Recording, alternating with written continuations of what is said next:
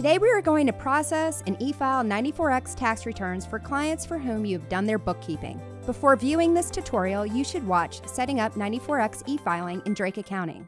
Process all payrolls for the period being reported. To generate the 94X transmission file to be e-filed to the IRS, you must first create the 94X tax return. Highlight the client on the Client Selector screen, then go to Employees, Federal Forms. Drake Accounting defaults to Forms 94X for the form type. Select the 94X form from the form drop list. For today's tutorial, we are going to focus on the 941. Next, choose the source, either the tax deposit or payroll. Choosing tax deposits as the source means that Drake Accounting generates the return with the tax deposit information you entered under Employees, Tax Deposit. Choose this option only if you've calculated your client's tax deposit information for the entire period covered by the return.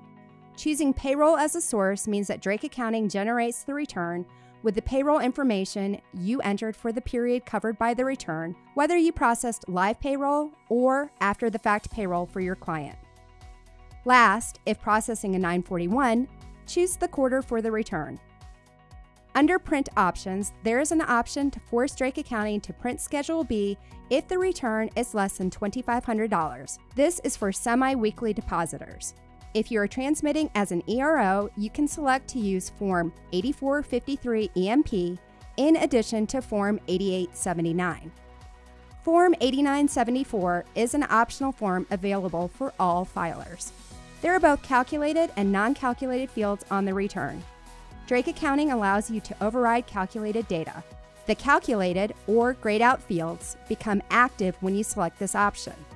Use this feature with caution and remember if you adjust one field, you need to calculate all other fields affected by that change. The client 94X file information populates from the client setup information, and the firm e-file setup information populates from firm information setup. Tab through the pages to review the information. Worksheet 1 is produced with a 941. Review all sections to make sure the data is accurate and complete fields as needed. After all data has been reviewed, click Save. Now that we have created the 94X return, it is time to e-file it.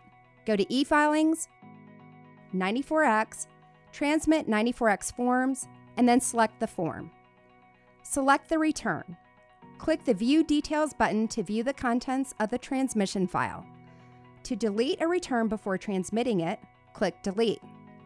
Click the Transmit button to e-file the selected return to the IRS. The Acks Screen button takes you directly to the acknowledgement screen or go to eFilings 94X View Results. If needed, Form 7200 is located under On the Fly Federal Forms. Select Forms 94X from the Form Type drop list then Form 7200 from the Form drop list. Choose the appropriate quarter and complete the form. Fax the completed 7200 to the IRS at 855 248 0552. For more information, visit accounting.drakesoftware.com.